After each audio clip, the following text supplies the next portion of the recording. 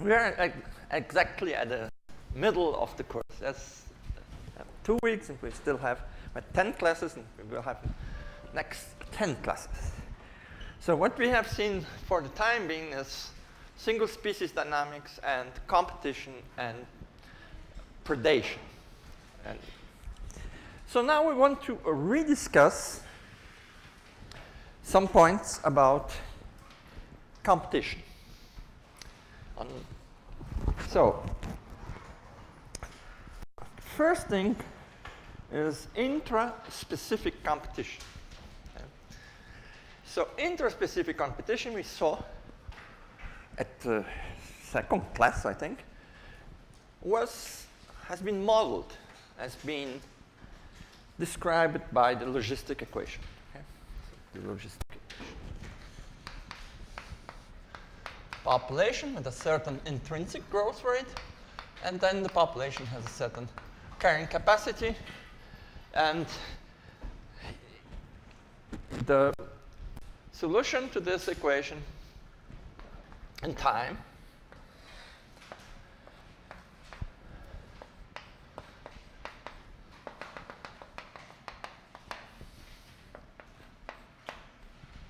It's just some initial condition and approaching the carrying capacity. Uh, so, what was, how did we arrive at that? We arrived at that because we had Malthus first. And Malthus is grow forever. Then we postulated that any population will have a maximum population, okay? Which is reasonable. It's not intrinsic to the population, it's intrinsic to the population in a certain place with a certain number of resources. So, and then we kind of said the easiest way to modify Malthus equation is just to put this negative term here, and then we, we even solve the equation, and then we have this. So this is kind of of phenomenological thinking, because we didn't describe intraspecific competition. We are just saying the population is going to a constant value, and that's it. Now, in the last classes about prey dynamics, we learned more things about um, which, which I want to rephrase now because it's kind of usual jargon. Resource, uh, um,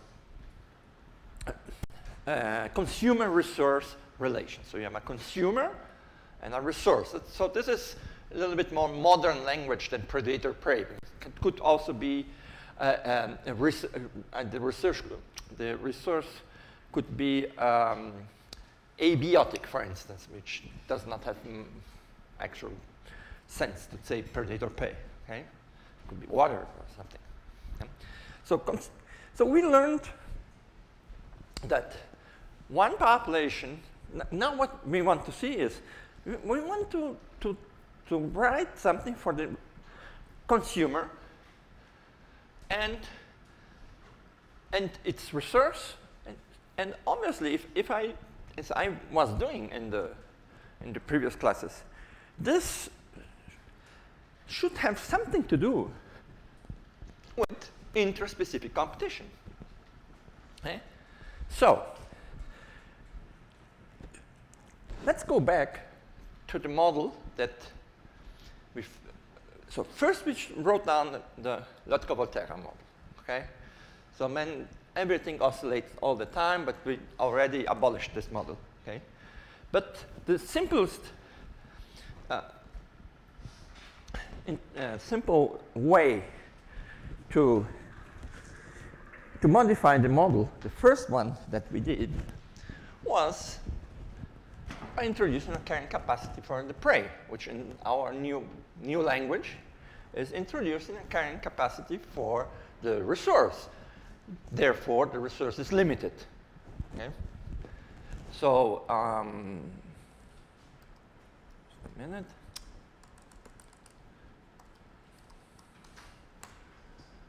Okay. So, the Lotka-Volterra with, um, with a carrying capacity for the uh, victim was something like this.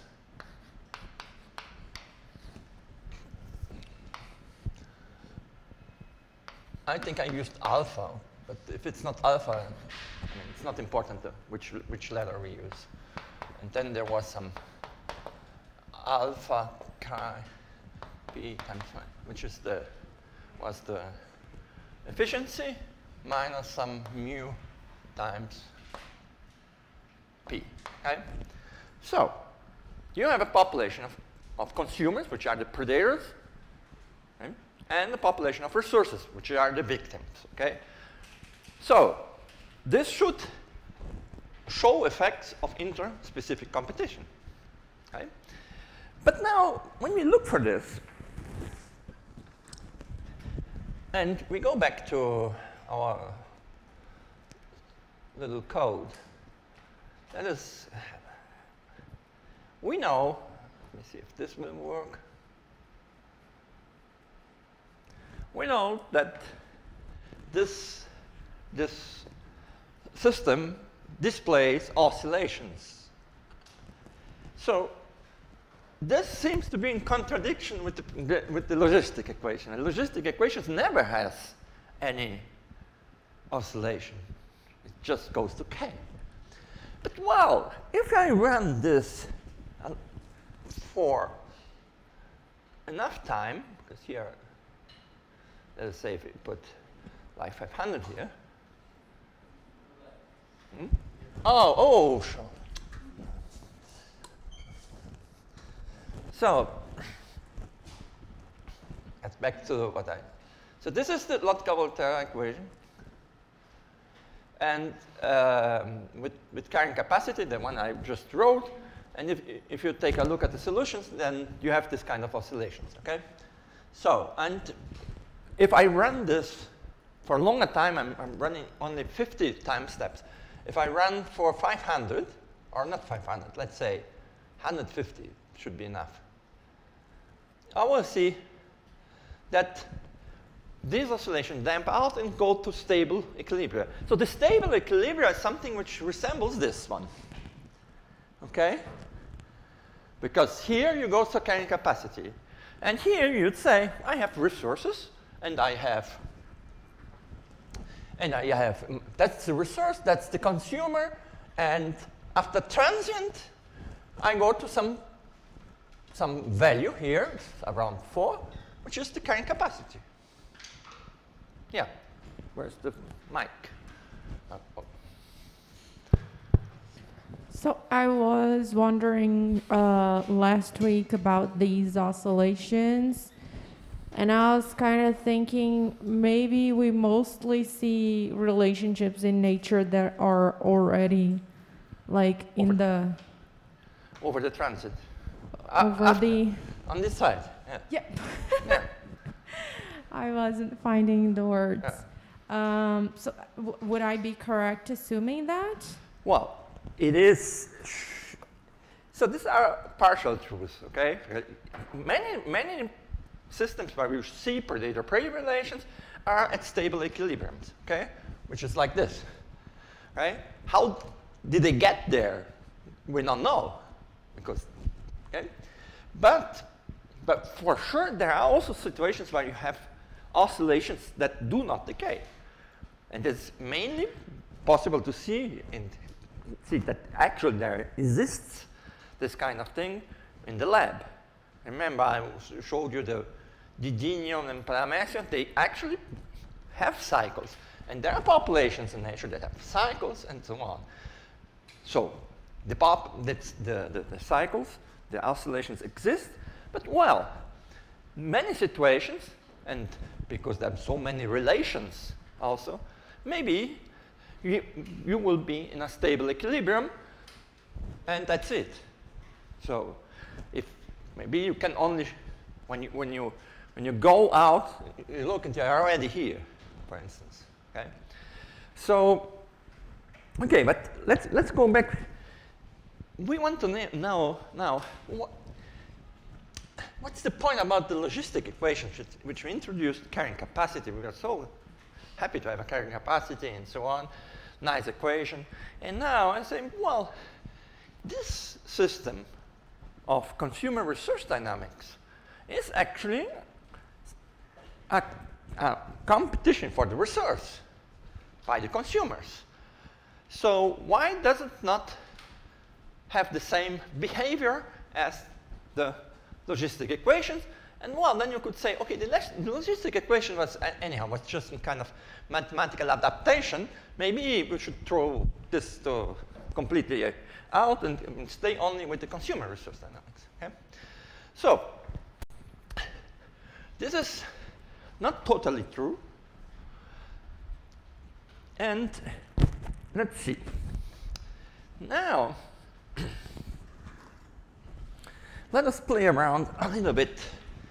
You see, these uh, oscillations, um, let me see, damp out, but let us put k smaller.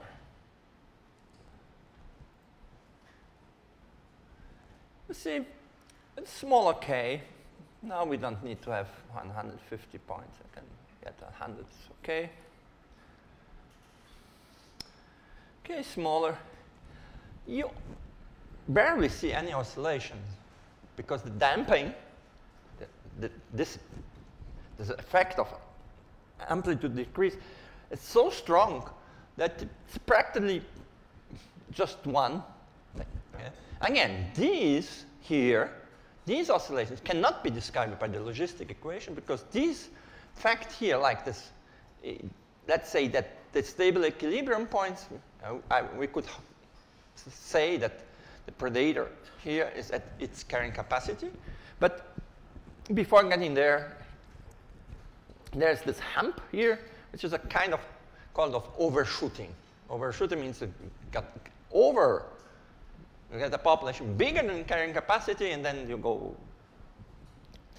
So, okay, again, we are still in trouble with um, with um, um, with with our with our logistic equation because we logistic equation has a carrying capacity, has a fixed population size after some time, but does not show this kind of thing. And so we have to reconcile things somehow, unless we just abandon the, the, the, the logistic equation, which we actually don't want so much because it's so simple. Okay? So uh, let me just take a look here. Um, the victim.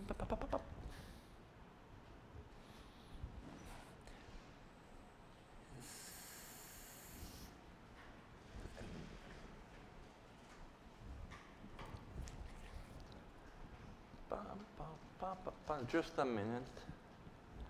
Okay, let us take a look here. Let's go back to with our larger carrying capacity, like 50.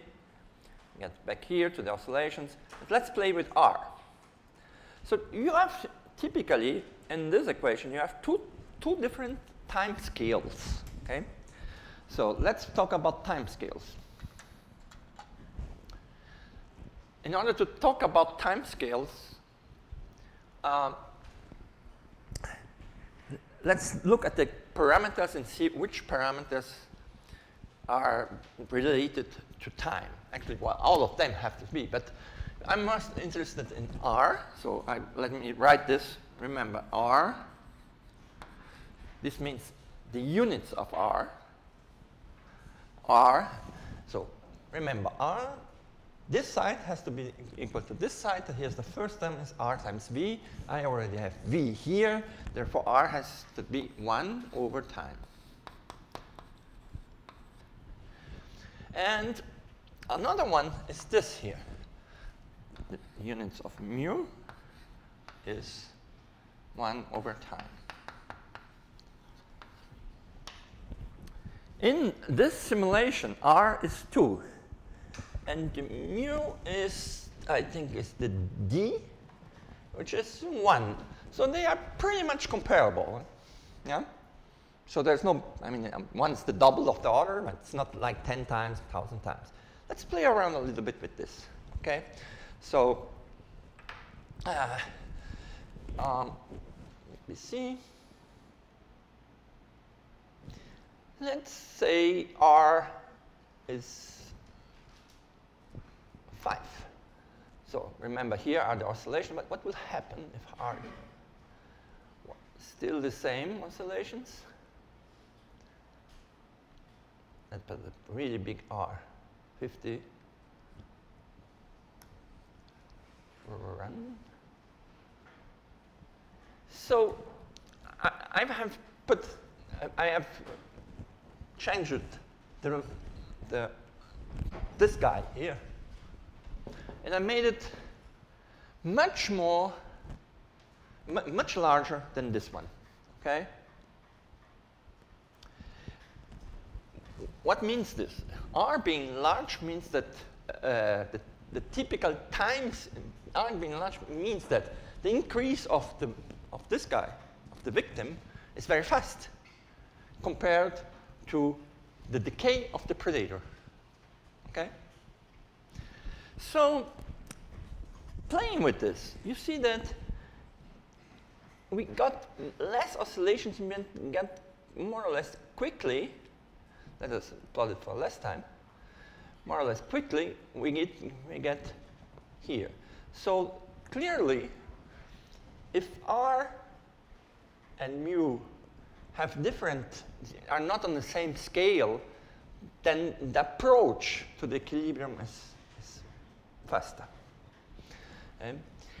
So this is, should serve as inspiration, let's say, um, to look for the consumer resource dynamics in certain limits of the parameters. So not anymore look for the solutions of the, of the, general solutions and general behavior of this uh, system of equations, but to certain limiting cases. And that's what, uh, what we want to do right now.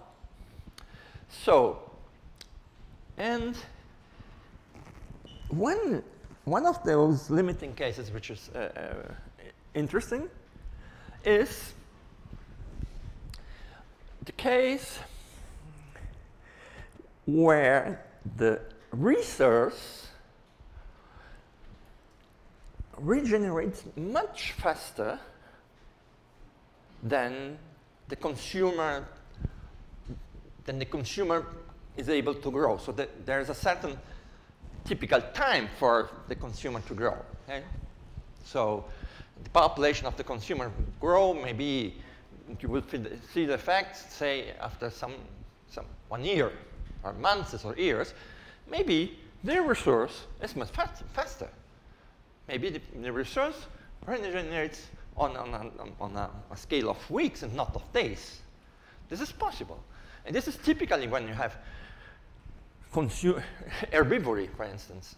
So it, usually the, the, the plants have, have a, a, a, time to go back to the equilibrium uh, much faster than the, the animals there that are eating them. Right? So let's, you will, we will do a calculation and uh, I will, what I want to show you is that in a certain, in, the in this limit of you have very different time scales, then actually the logistic equation will be a good description. Okay. So this is a little bit, there are some, it's, it's a little bit subtle with the mathematics. It's not difficult, but uh, pay attention because we will do, now what we do, we'll be interested in approximations. And so, first of all, let us write our equations. And I will use different letters because I want to, I mean, to go to the traditional notation. Um, that is used when, uh, when you describe consumer resource uh, dynamics. So we will say that n of t is the consumer and r of t is the resource.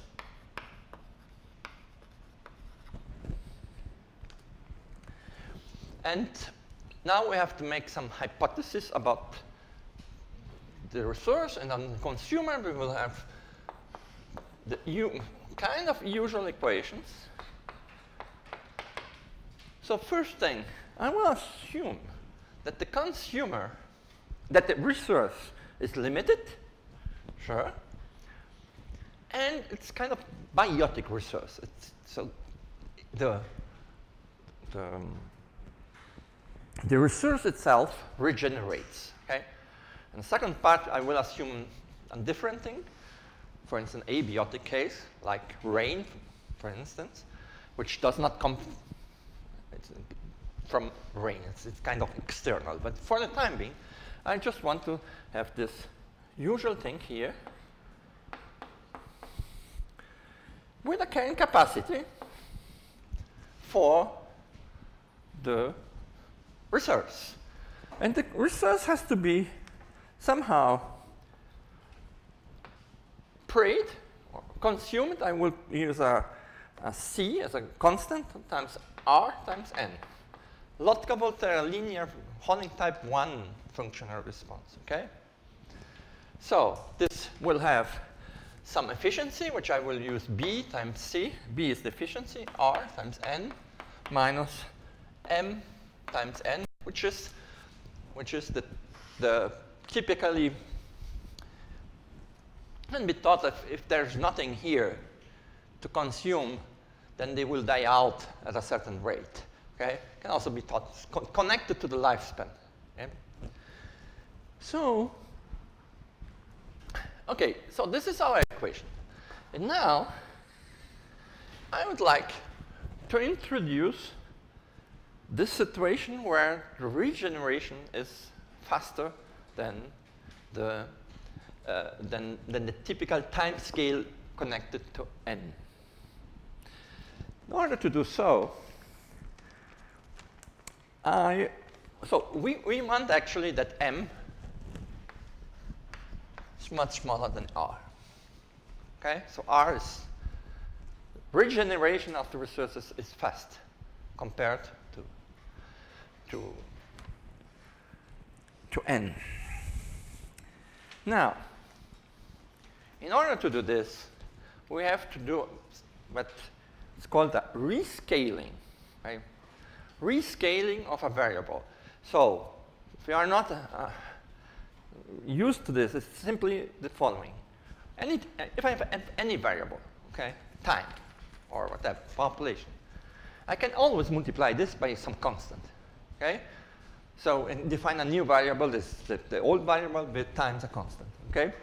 So I will define a new time variable, which I will write down as tau instead of t. And I will use a time variable that tau, which is non-dimensional, that doesn't have any dimension. And one way is writing the time, that's the usual time, times m, because m is 1, has dimensions 1 over time. Therefore, this is a dimensionless variable for time. Okay? So, okay. What does it mean? Well, I have in the equations derivative dn dt, not dn d tau, but I now want to use dn d tau. So um, I have to write down d dt, the time variable, is what? The, derivative.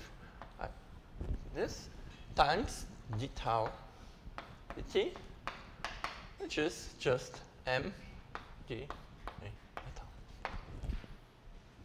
Okay?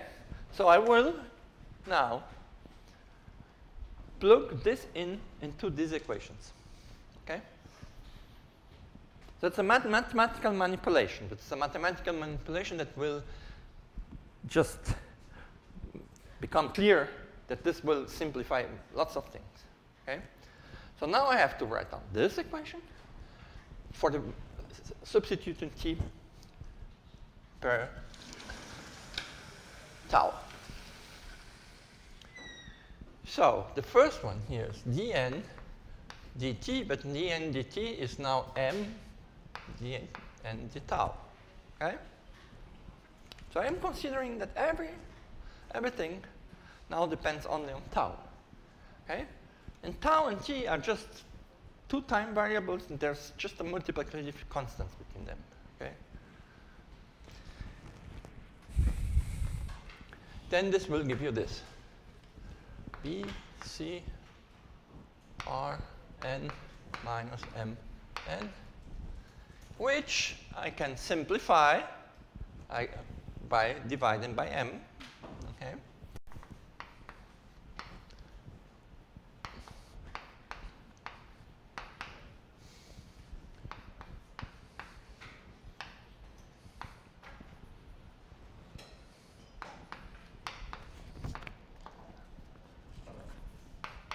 Okay?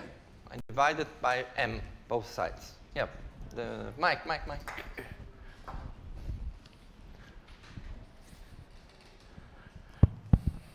Uh, sorry, I'm not sure I followed the what was the intention of inserting this tau in the equation. It What will turn out that this will this will appear next because we want um, to to find a way in the equations to compare m and r. So I want to find some way to have m divided by r much smaller than 1. And this is a trick. And this is in order to explain that the regeneration of the resource is faster than the than This is, an or- uh, this is in order to provide a way, you know, these equations have very oscillations, everything. Now, I want to look how the how this, these, these um, solutions look like when the regeneration of the resource is much faster than the time span of lifespan of the of the consumer. So it's a limit. Okay? So it is this is called a multiple scale or a two-time scale problem. What, what, what is a two-time scale problem? There are things that happen on a fast and a slow scale. So the fast scale is the regeneration of the resource. And the fast and the slow scale is, is the, the increase of the consumer. So that, that's what we want to explore. Okay? So you can also think that um, it, well, you will be interested mainly in, in what? In the, in the slow time scale. Because we don't want to discuss all this very fast uh, regeneration. Okay? This is not very interesting. We, want to look at the dynamics, say, of the consumer, okay? and what should happen on, a, on, a, on, on the slow time scale. So in order to have the slow time scale, let's look at this tau again, okay? So let me, let us think that um, um,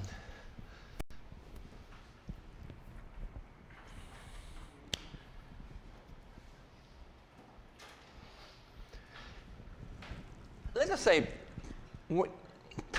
time t goes from 0 to 10. Okay, just okay, 10 time steps. Now say m is small, like 0.1. Therefore, on the time t scale, I go from, from 0 to 10, and on tau scale, I go from 0 to 1. Therefore, tau is much slower than t. Okay? And we want to study the dynamics on the scale of tau. Therefore, I'm supposing that these guys now, all of these functions at that time are, the, are on the scale tau. So it's a way of finding to scale out the fast time, which we are not interested in. We are interested in just looking how is the dynamics of the consumer on the slow time scale. On the fast time scale, you will see the regeneration of the resource happening very fast, but we want to focus on the consumer.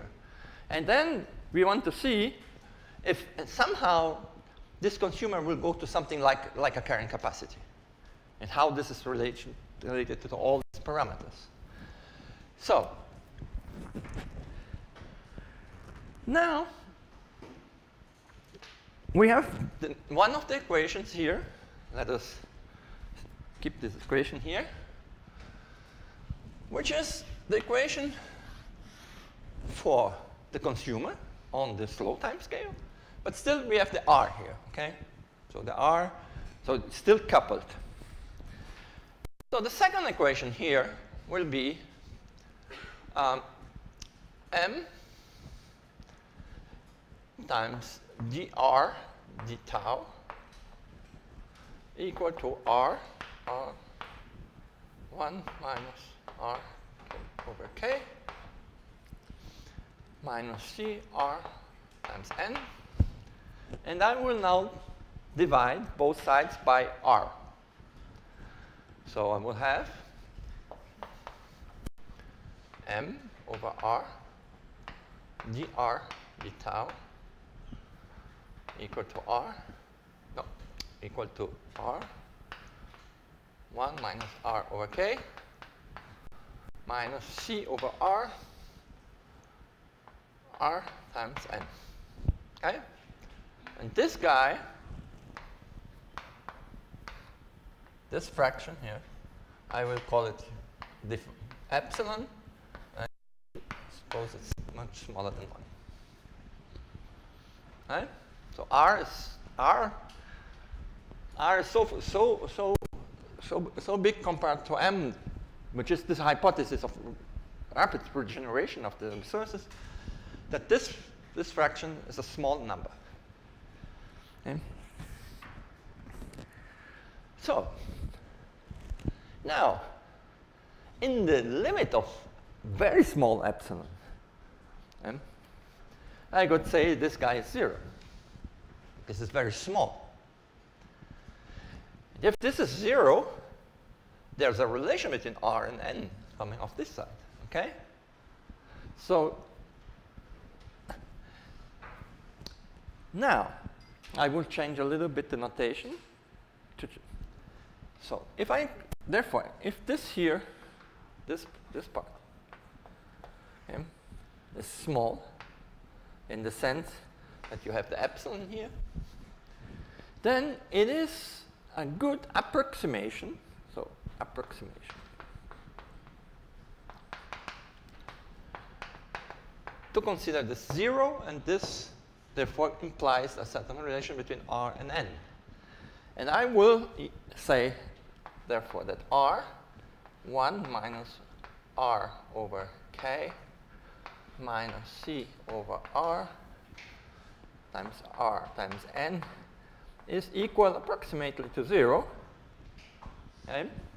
And I will, instead of writing this way, I will put a tilde to say that this is only valid in this limit. It's not a general relation between both of them. It's valid in the limit where the epsilon is very small. Okay?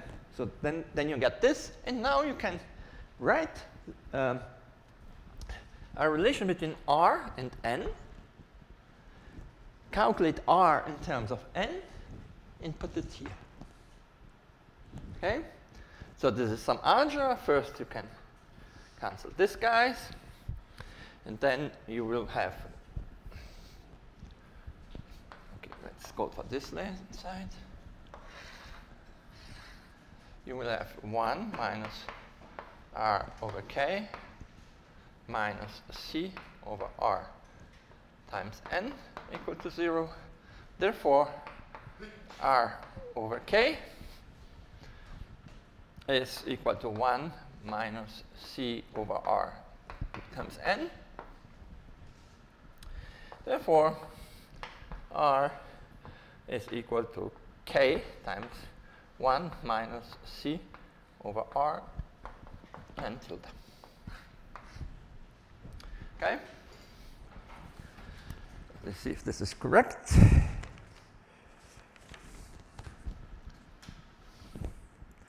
Yes, it is. Okay, so now let me um, we'll erase. Where's the? Okay, I, I will get this out here.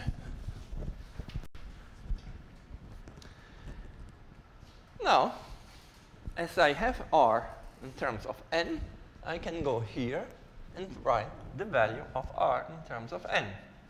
And therefore, this is an equation for n alone. It's a single species dynamics because we kind of scaled out the resource.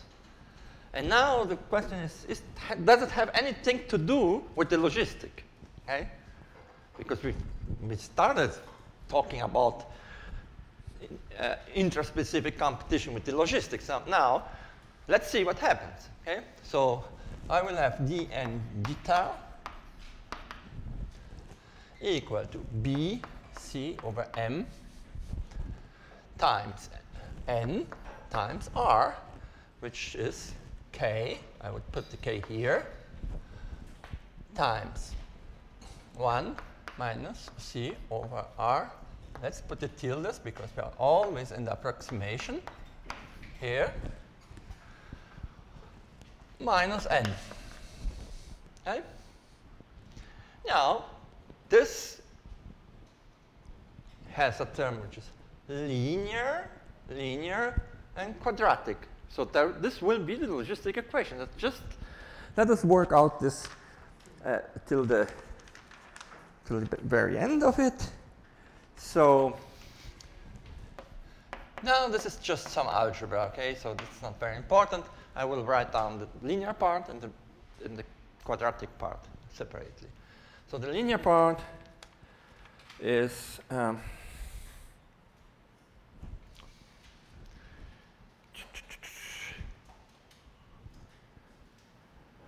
um, yeah. Did I make a mistake? No. Oh. Okay, there's some difference here. Uh,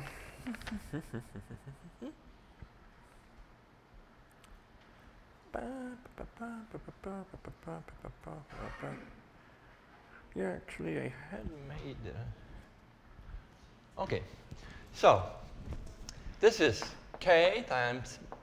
Uh, so this is n tilde, which multiplies k, b, c over m. Uh, this is this part minus minus 1. Okay? Minus k b c over m times c squared r n tilde squared. Okay? Now, I can write this in the following way. I pick this up here, k b c over m minus 1 times n tilde 1 minus k b c squared over m r divided by this. Okay? by k b c over m minus 1 times n theta. Then I call this, let's, what's your favorite Greek number, uh, letter? Let's say lambda, okay?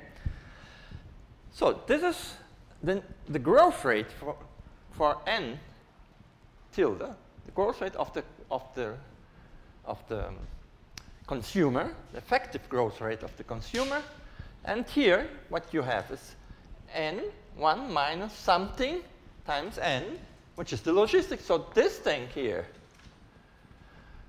here is 1 over the carrying capacity, the effective carrying capacity. So let's call this, this thing here, okay, where can I erase?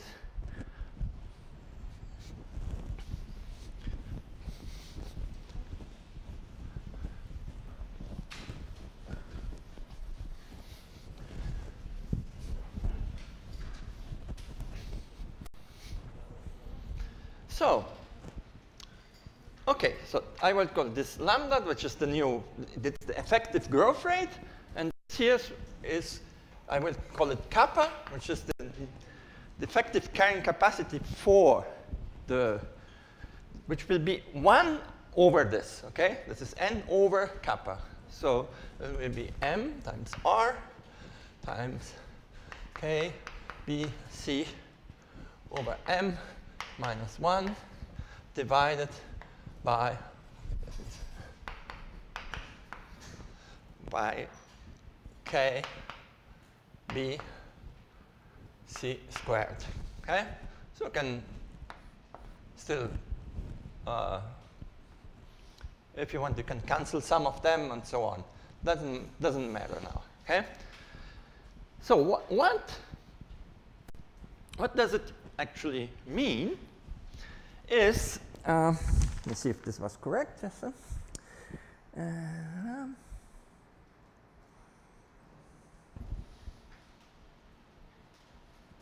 yeah, it would be easier to, okay, we can get a better insight here if I, I just multiply everything.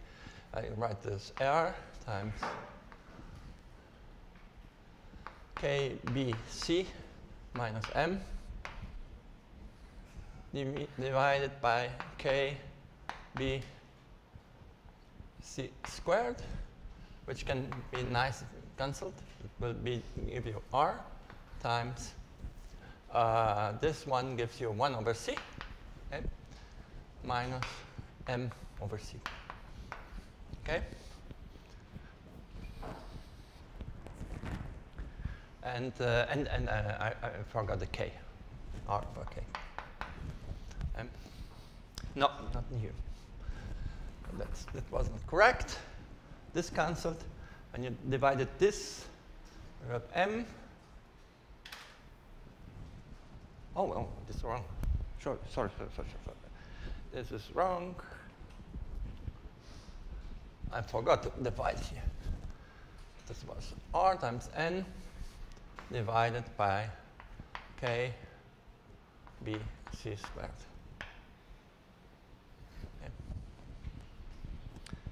So this is the new carrying capacity. That's the effective value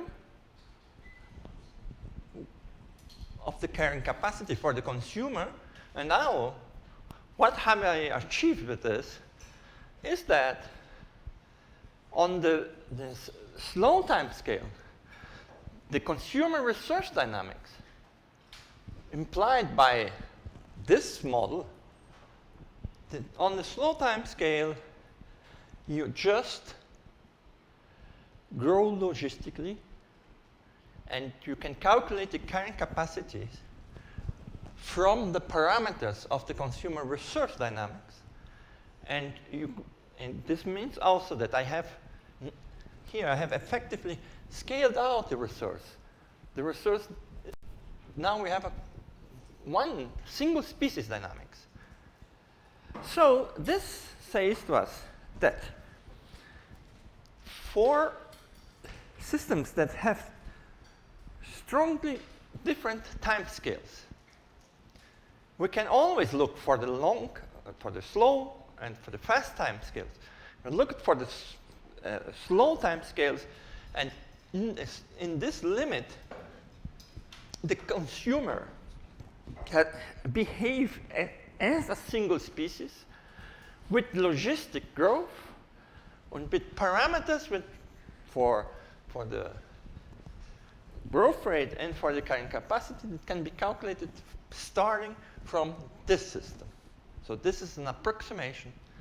And this is, again, this is a way of reconcile what we have seen at the very beginning, that we have single species dynamics with consumer, with, with logistic growth. But we can also uh, look at consumer resource dynamics, which have oscillation and so on. But if we have that the, the, the growth of the resource is much faster than the, uh, the one of, of the consumer, in this case, the logistic equation is a good approximation for this consumer resource dynamics. So that's a way to save the uh, the concept of carrying capacity and of uh, where, where's the mic? Concept of carrying capacity and the logistic equation. Right? Um, is there a limit for the difference between M and R, where the consumers stop to work to act as a single species? So yeah, uh, this is what we what we do. This is strictly well. So this is okay. There's not a, precise value, okay, because you know they are always coupled in the stricto sense. Of, they are always coupled. Yes, okay. Now, what what I did is an example of what's called asymptotic expansions. Asymptotic expansions is I want to know. Uh, I have a small parameter in the problem. Okay? And I want to know the limit of my equations when this small parameter is really, really very small. So strictly speaking, this is an approximation which is called zero order approximation. Because I could have done something else. I could have written that that um, that my I, I could have done something but okay I have not any more written that I, I had this equation yes. G.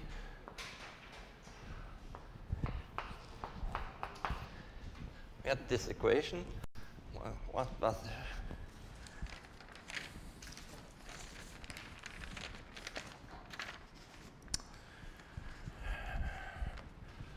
it was like this.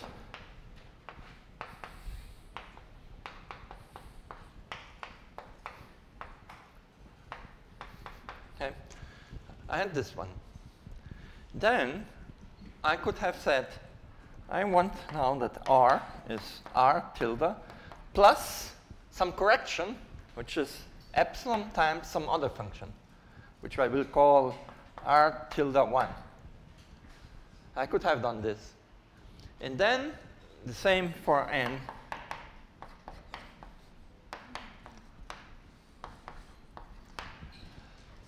Plug this here in and then compare order by order of epsilon's equation. So the one equation will be with epsilon equal to 0. So the, all the terms that do not have epsilon have to be cancelled. Then you look at the next one. You have epsilon times something, which has to be 0. Then you have the the next order. That's, that's called an order. So that what I calculated is the, this the order zero of an expansion. Okay, and this means that uh, uh, I could go on in calculating next orders, which would be the corrections to the logistic equation coming from the fact that maybe epsilon is small, but not so small. Okay? Maybe it's it's just in the limit of you don't know. Okay. So this can be done. I mean, it's not part of the of the of the course to do whole asymptotic expansions, but it is part of the of the the course and of this uh, of this uh, lecture to call attention that when very different time scales when you have species that have very different time scales generation time or whatever you want, okay? Uh, then maybe the system can be always simplified such a way that you can have the slow and fast dynamics and you don't want to fast to look at the fast. You look at only at the at the slow and uh, and just system gets pretty much simplified. We had two equations here and now we have a logistic. We have just well ugly parameters, but never mind, it's in the logistic, okay? So, now, very well, yeah.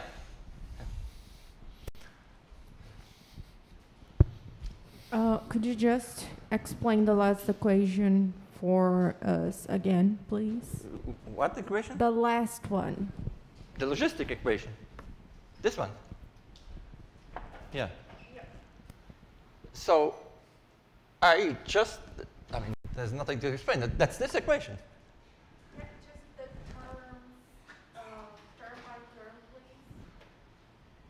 I mean, here I have one part which is linear and one part is quadratic. So I just wrote the linear part. Okay?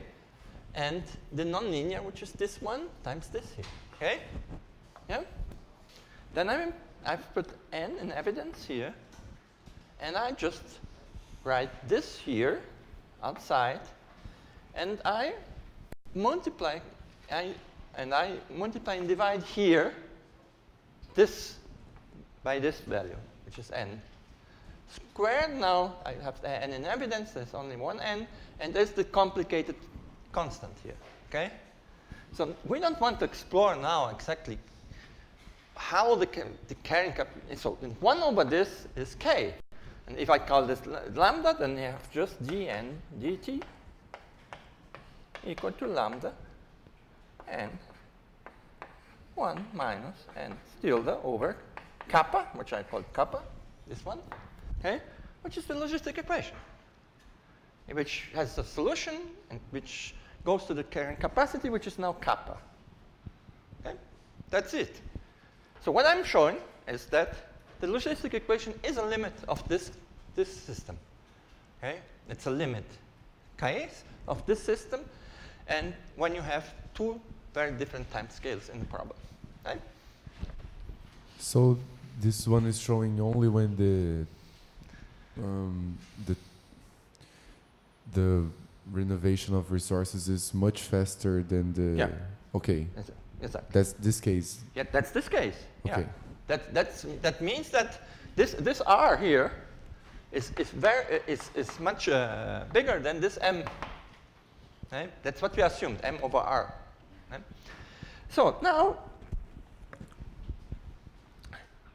one of the assumptions that I made, and it seemed to be the, the easiest thing to make, was that the resource was bi- um, biotic, and mean, meaning that it has a, a dynamics in itself here, like a logistic.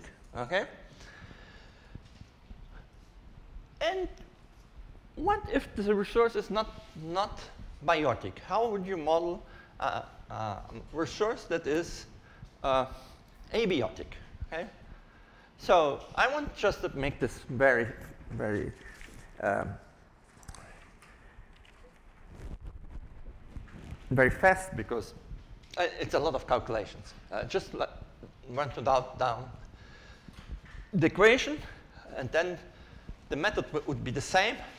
I mean, you get a lot of uh, terms, and uh, it's, it's, it's boring to do all the math direct. Okay, so in order to to model some abiotic case, we will suppose that the resource is now has now a different equation. And, the, and obviously the question would be, will I still be able to obtain the logistic equation from, from the consumer resource dynamics in the limit, the same limit? So I will have the same equation for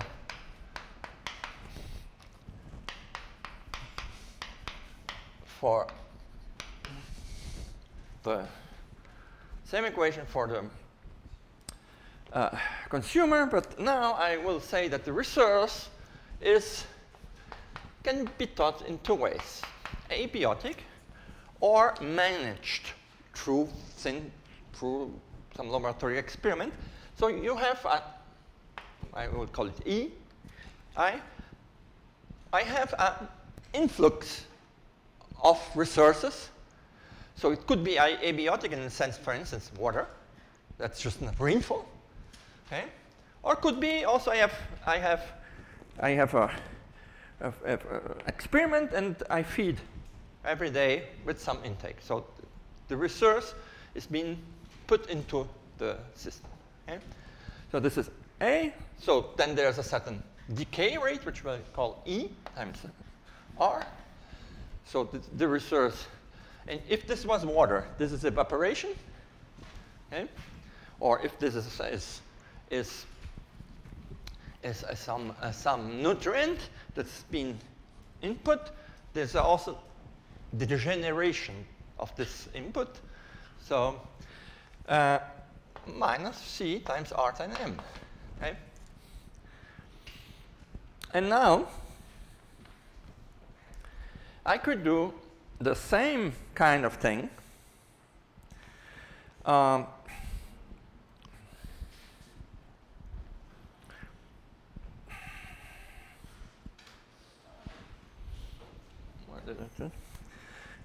I could I could go on and write. Um, I think it's better to show this on the on the paper that I used, and it would be easier. So, Elena.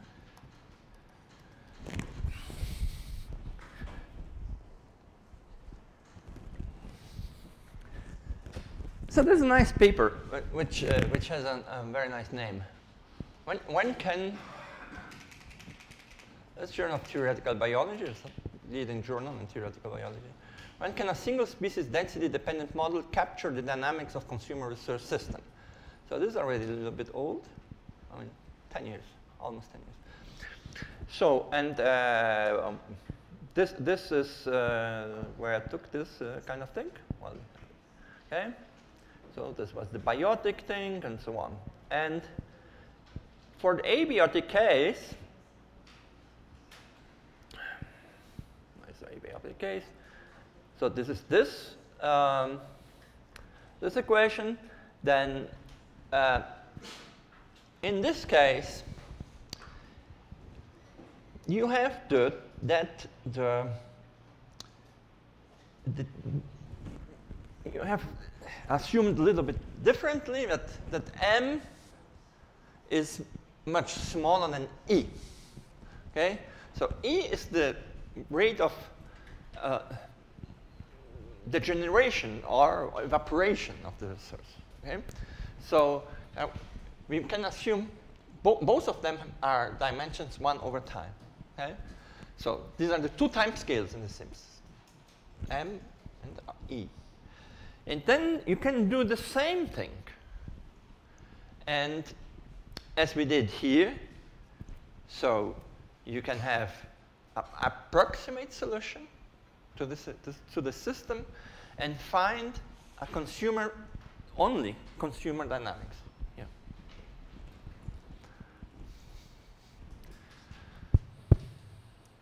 Um, just the the I is the influx, right? Influx, yes. And then now, I'm not sure you called it rate of degradation. What Rate is of, rate of the generation rate of E. degradation is E. It's E. Okay.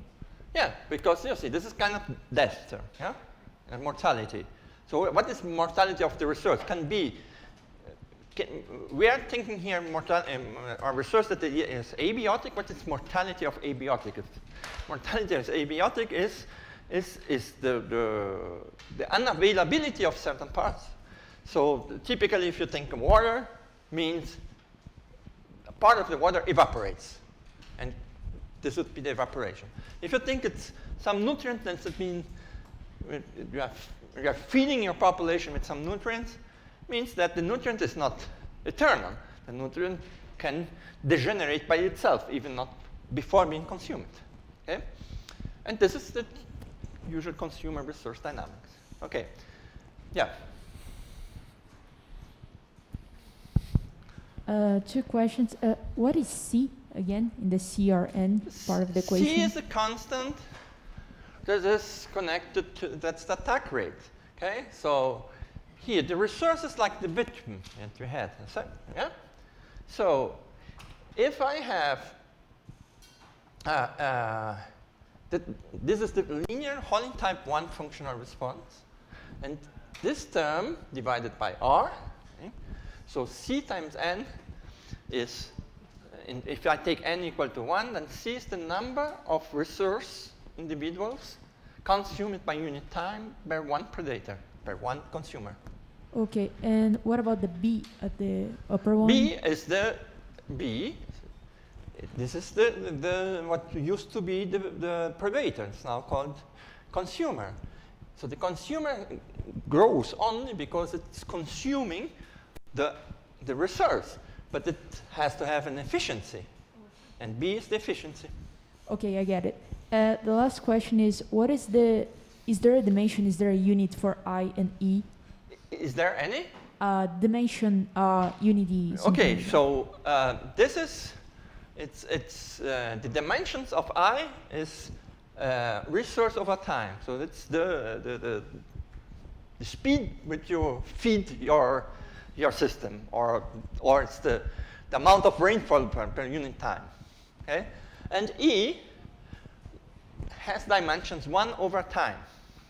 Okay? Because then you have the same dimensions here and here. So E, 1 over E has dimensions of time. It's connected to, to uh, the, the time it takes for the resource to degrade or to evaporate or to, to go out of the system. Okay, and the T in the I and the E, are they the same value? Or the, the T, the I and E? One I- is resource over time, the other is one over time. Is the T in each of them the same? which T? The time? Yeah. Yes. Yeah, all of them are calculated at time t. So I'm, I'm, I'm will use i to be a constant, okay? But the dimensions of i are populations per time. So it'd be set number of individuals per hours, per days, or per years, okay? And e is, is times r, okay? Has to have the same dimensions here. So therefore, e is, to, is 1 over time dimension. Okay? So, we don't have even time to do all the calculations, but the, okay, there's more, uh, one more question. Um, and and uh, guys, today I will uh, stop a little bit earlier. I have to, like 10 minutes uh, before the normal time. Morning. Good morning. Yeah. So the E and E there, it's an inflow and outflow. Hmm? And one is influx, the other is, uh, is yeah, outflow. Is an Yeah. outflow. So how do I consider um, a resource like water uh, that is uh, taking the example on Brazilian semi-arid that is really uh, has really variability. Yeah. How do I consider this on an equation with and So- really uh, ti- uh, we have uh, difficult to measure the time of inflows and outflows because uh, inflows could be in years and outflows could be in, in days. So, inflow it's it's just if it's water, it's something that you you can measure on a daily basis. It's just the rainfall of the day, okay? And but usually it's not important to look at this at the scale of days. For instance, if uh, uh, so, you you could say, okay, I will use the average rainflow over because it's very big variability, but just use the, the mean value, okay? And um, so it will depend on what kind of problem you are interested in, what kind of, uh, of time scale you are looking for. So I could depend on time in this case. Could be seasonal, for instance, if you want. But now, I'm, I'm not considering this case now because it complicates everything. Okay, I'm just having a constant influx. Okay, can, can you can also think that's that's kind of uh, yeah, yeah chemostat dynamics. Okay, could be something like that also. Okay, and people also simulate this kind of situation. For instance, with experiments that I've seen for, with mites. Okay, so at the mites and they have predator-prey dynamics and so on. But they, they, they, they live on, a, on some substrate and you put every day food for them. Okay. Now, if you do the same thing as with the I, I've done with this system, you do the same calculation. It's the small epsilon, finding the effective equation for this system, you don't get the logistic. You get something which looks like this. Here, here the guy has rescaled a lot of things, okay? But this equation here is not the logistic, okay? Oops. It is something else. And it depends on a parameter, which is rho, which is 1 minus beta over beta, and beta was defined before somewhere, and it's a complicated combination of, I mean, not so complicated, it's a combination of the parameters. Okay? So in this case, the limit,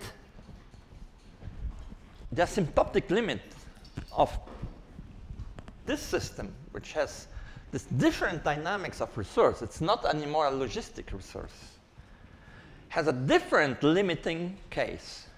It, it gives you this equation. Now you still would like to say, well, I, I wanted still to see, is this very different from the logistic equation or is it just very similar?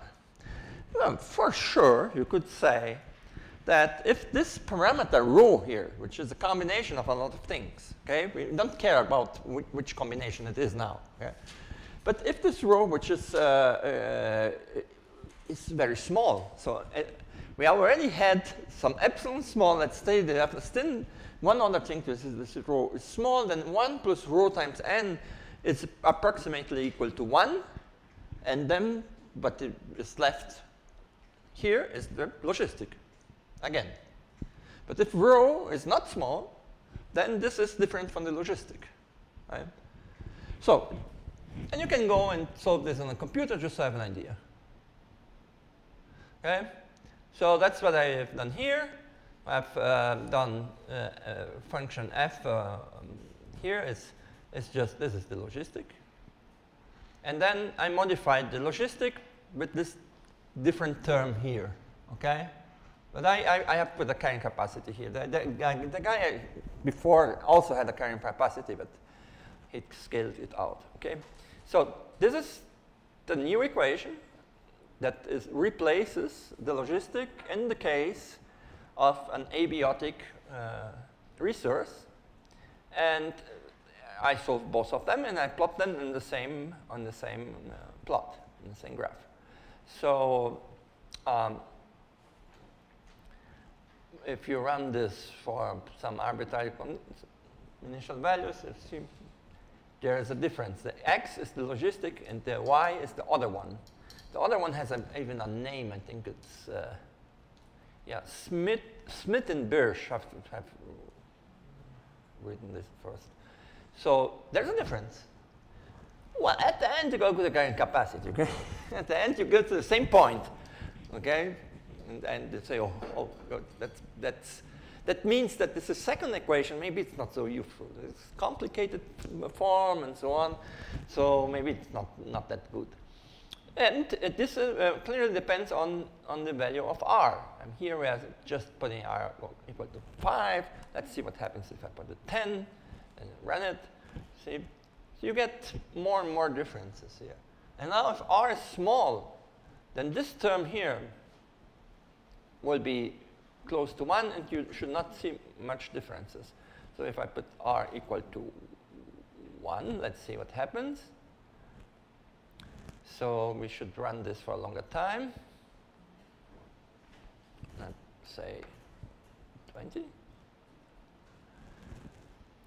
So the differences start to decrease. And now if I put a very small value of r, maybe I will have to, let's say I would point, point uh, 0.2, let's see. And I have to plot it for much more longer. Let's say 200, no, 200 is too much, like 100. And the difference almost disappears. And so this second equation is similar to the logistic equation had some dif differences, but at the end of the day, they have the same asymptotic value, the carrying capacity, the new carrying capacity. Yeah? Therefore, people don't use the second one at the end.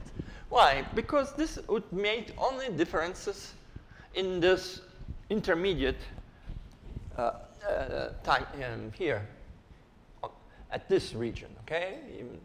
And if, uh, if the parameter here were a little, bit, larger, then you see it better, let's say like 0.8. Right? So no, no big differences in the dynamics and more complicated equation, the second one. Okay, so you say, okay, let's stay with the logistic because although the limit for, for uh, single species dynamics coming from consumer resource dynamics, which originates from abiotic resources, is not exactly the logistic, but the general behavior of the solutions is very similar to the logistic. Therefore, we should say, okay, then um, uh, stay with the logistic. So we save the logistic from hell. So this, this class is meant to tell you that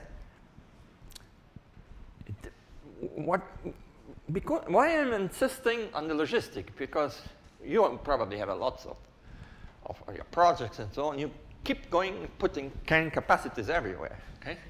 And that's, that's a very useful way to, to do the, the things. And so I'm actually showing that even if you have, you have consumer resource dynamics, you have, okay? A certain limit of different time scales of consumer resource dynamics, the logistic is a very good approximation of the dynamics of the consumer. And that's fine. Okay? So you can use carrying capacities in your model. Okay? You are, if, unless you have some reason to think that you are very far from this, this, uh, from this uh, limit. Okay? But uh, most of the time you have some, some for instance, you, where do you put carrying capacities in the, in the, um, in the, in the models? Usually you have the, something which is resource or competitors that have, that, that you are not describing, a part of, of your system you are not describing the consumer's resource dynamics, therefore you just put them in uh, carrying capacity in a logistic term. So this is valid in, in certain limits. It's, it's okay to do this, and you can actually simplify your models by using carrying capacities, always thinking that the resource that is the resource that creates the carrying capacity should have a much faster time scale for the population to, to, to, to, to, to change than the um, than the consumer. So, okay. Now, that will be all for today. Tomorrow, next, is, okay, now we will look for consumer resource dynamics again. Two consumers, one resource. What happens? Will there be competitive exclusion? Will there be something like strong and weak competition, what will happen? So that's the next point. Okay, so you, somebody raised the hand. Ah, yeah. Wait, uh, the mic. No, just to be sure, um, we don't usually use this equation, right? We Not usually, yeah. We use the logistic. Yeah, most of So the time. So all of the equations we learned today, we usually don't use them. We use the logistic. Yes, most of the time. Okay, we, we, you usually, uh, what, what, okay, so this is a consumer resource equation, okay? And, and it's a very particular one where the, the, the resource is, is not in itself. It's just been an influx external, okay? So if you have a system, for instance, vegetation dynamics depending on rainfall, on, on and then, then you have something like this. But otherwise not, okay? And what I say in this, uh, okay, now, suppose that this is, this is actually good. And then you go for the same limit of very different time scales. What you get here is not exactly the logistic. You get a different equation, which was the equation that uh, was, was somewhere here, okay? So this is not a logistic, okay? It has a different term here than logistic. But when you plot the solutions, you see that there's no big change. I mean, there's, they are very similar, the solutions. They go up and a little bit different on the, on the intermediate phase, but both of them go to the same carrying capacity, everything. Therefore, well, why care with the complicated equation when the logistic is much simpler? Okay? Unless you could have very precise, very, very precise measurements, then you could maybe say, okay, I, I really want to distinguish them. But uh, so again, the logistic equation can be explained by a more mechanistic dynamics, which is consumer resource dynamics, it's mechanistic and not phenomenological. It can be explained, and it's the limiting case of consumer resource dynamics, where you have an effective single species dynamics for the consumer. Okay, so many emotions tomorrow with, with our discussion about competitive exclusion from the perspective of resource, uh, um, uh, consumer resource dynamics, not anymore from the perspective of the Lotka-Volterra equations. Okay, so uh, as I told you, I will stop a little bit earlier. So, okay, see you tomorrow.